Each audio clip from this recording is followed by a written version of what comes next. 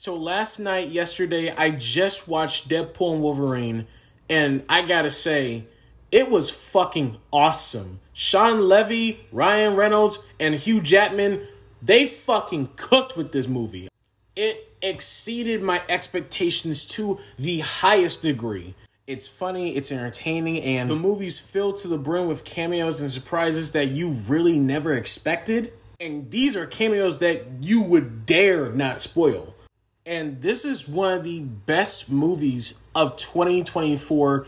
Probably the top three best movies of 2024. But, anyways, let's get into the plot. So, plot is about Deadpool saving his universe from Cassandra Nova and her plans. And Deadpool's going to need some help from the one and only Wolverine, played by Hugh Jackman himself. The story was really good in this movie. I mean, there are some issues I, I I need to point out, but we'll get into that later. Deadpool, and this goes for Wolverine too, their actions and their story is not based on any sort of selfishness. It's based around caring about others around them. Like Deadpool, for example. The reason why he wants to be a hero, not because he wants people to glorify him, but he wants to save and protect the people around him, which is his family, like the Indian taxi driver, Dopinder, and Colossus and his sexy ass stripper girlfriend, and his coked up elderly black roommate named Blind Al. Oh, and how the fuck can we not forget P? Oh, sorry, that that's Ted. Um, um, Peter. Yeah, that Peter. And then you got Wolverine, who let down his entire world, and now he wants redemption. He wants to be a hero and make things right. And the movie's explanation of why he wears the iconic suit is just heartbreaking. Seriously and the relationship between Deadpool and Wolverine is just iconic and just funny as hell. I will never get tired of Wolverine telling Deadpool to shut the fuck up. It is funny as fuck. I mean, I- am serious. At first, when Wolverine meets Deadpool, he's like, nigga, can you shut the fuck up? I hate you. Like I said, just the chemistry between these two is just fucking magic. So, what made you finally wear an honest to God costume? Mine's red so they can't see me bleed. But I could see how yellow would be useful too. Have you been checked for ADHD? Mm-mm. But I've had several STDs, which were probably caused by ADHD. And yeah, man, the movie really makes you feel for these characters and what they're going through. The ro- the romance between Deadpool and the and his girlfriend is not really as strong as the sequel and especially the first one. That's probably my biggest problem with the story is just the romance, but overall like the story is really fucking good. And I love the jabs they throw at uh, Marvel and DC and especially Disney. Like holy shit, there's a lot of jabs at Disney, man. Like holy that paying Disney shit was funny as fuck and I felt like they didn't pull any punches. And they reference and commentate on how shit the MCU is right now. And he also did a little bit of jabs at 20th Century Fox and their Marvel movies and stuff like that. But they the the biggest jabs go to Disney and Marvel mostly. And the cameos are not pointless and out of place and disrespectful to the characters. I'm looking at you, Flash. The cameos are really fucking cool. Like I said, like there's characters that you would never expect to be in this movie. Like, I'm not gonna give anything away. If you've seen the 2000 Marvel movies, you'll know what I'm talking about. But it's really fucking cool.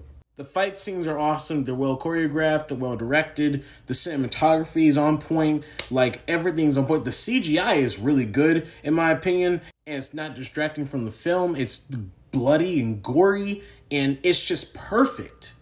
I hear some people on the internet complain about Cassandra Nova, and her character is really not that bad. Obviously, the actor is having a fucking blast for her.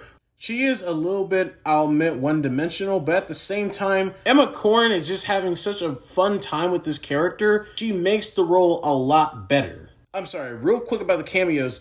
In the first 15 minutes of the movie, there is a crazy big thing that was in one of the segments, and I'm not even going to spoil it. You have to see the movie for yourself, but All I gotta say is that it's a fight, a small fight. That's it. That's all I'm gonna say. Oh, and that brings me to my next point. The, the fan service is off the charts. Like the fan service in this movie will get you hooping and hollering and screaming in the theater of just how exciting it is. Like it's insane. There's a lot of moments in the movie where I was just screaming and hooping and hollering and yelling over these cameos and these appearances and the fan service and there was that special moment near the end, near the climax. Um, it's basically this scene right here. Wolverine does something really special in this scene that just made me just roar and made me jump out of my seat. If you watch the film, you'll know. So yeah, the cameos are crazy. And the multiverse aspect of the movie is not fucking annoying.